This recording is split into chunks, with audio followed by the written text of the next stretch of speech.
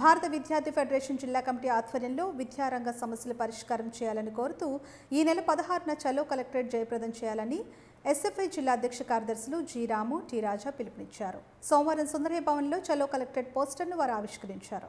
ఈ సందర్భంగా వారు మాట్లాడుతూ రాష్ట్రంలో విద్యారంగ సమస్యలు పరిష్కరించాలని డిమాండ్ చేశారు. రాష్ట్ర ప్రభుత్వం అధికారంలోకి వచ్చిన తర్వాత నవరత్నాల్లో ఒక రత్నమైన విద్యారంగాన్ని రాష్ట్ర ప్రభుత్వం నిర్లక్ష్యం చేస్తుందని విమర్శించారు. విద్యార్థి యువజన సమస్యల మీద పోరాటం చేసేటువంటి విద్యార్థి యువజన సంఘాల నాయకులను ముందస్తు అరెస్టులు పేరు చెప్పి నిర్బంధించడం వంటి చర్యలు ఆపాలని జిల్లా అదనపు ఎస్పీకి వినతపత్రం ఇవ్వడం జరిగిందని అన్నారు. ఈ సమావేశంలో ఎస్ఎఫ్ఐ జిల్లా నాయకులు వరహాలు గంగ సూరిబాబు దినేష్ కుమార్ తదితరులు పాల్గొన్నారు. యూనివర్సిటీల్లో కానీ ఇతర పోస్టులు కానీ భర్తీ చేయట్లేదు. అదేవిధంగా ఈరోజు రాష్ట్ర వ్యాప్తంగా రెండు లక్షల ముప్పై ఐదు వేల పోస్టులు ఖాళీలు ఉంటే ఆ పోస్టులు భర్తీ కోసం నోటిఫికేషన్ ఇవ్వట్లేదు. ఈ అసెంబ్లీ సమావేశాల్లోనే కనీసం చర్చించమని చెప్పి ఆ నోటిఫికేషన్ తెలంగాణ రాష్ట్రం ఏదైతే ప్రకటించిందో ఆ విధంగా ప్రకటించండి ఇలా చర్చించండి. ఖాళీలు ఉన్న పోస్టుల కోసం రాష్ట్రంలో ఇరవై ఐదు వేల టీచర్ పోస్టులు భర్తీ చేయండి అని చెప్పి అడుగుతూ ఉంటే రాష్ట్ర ప్రభుత్వం కనీసం స్పందించట్లేదు.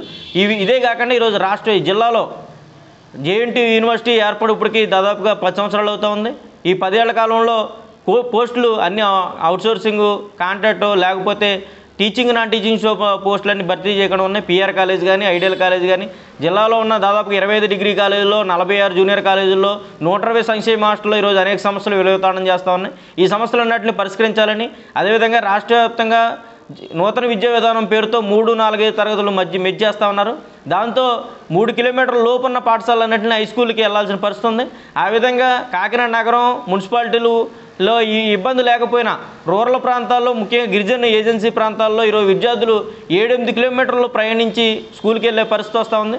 దీనివల్ల ఖచ్చితంగా విద్యార్థులందరూ చదువుకు దూరమే పరిస్థితుంది ఇటువంటి సమస్యల మీద రాష్ట్ర ప్రభుత్వం స్పందించకుండా సంక్షేమ ప ప- పథకాలను అమలు చేస్తున్నామని చెప్పి పేరుకి చేస్తూ ఉంది. ఇటువంటి వాటికి వ్యతిరేకంగా అదేవిధంగా నూతన జాతీయ విద్యా విధానంలో ప్రతి మండలానికి ఒక జూనియర్ కాలేజు నియోజకవర్గానికి ఒక డిగ్రీ కాలేజ్ కడతా ఉన్నారు. మూడు నాలుగైదు తరగతులు మెచ్చేయడం కోసం రాష్ట్ర వ్యాప్తంగా పద్దెనిమిది వేల పాఠశాలని లిస్ట్ అవుట్ చేశారు.